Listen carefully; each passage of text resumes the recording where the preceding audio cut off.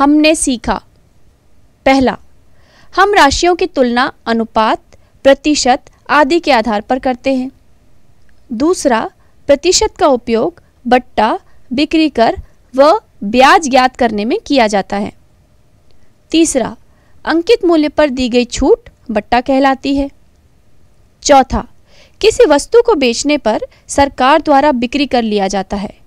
विक्रेता द्वारा बिक्री कर को बिल की राशि में जोड़ दिया जाता है। पांचवा, ब्याज दो प्रकार के होते हैं, साधारण ब्याज और चक्रवृद्धि ब्याज।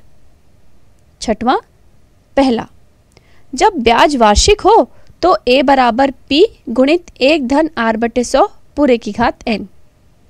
दूसरा, जब ब्याज की दर अर्धवार्षिक यानी कि छमाही हो तो कुल राशि ए बराबर पी गुणित एक धन आर बटे दो सौ, पूरे की घात एन।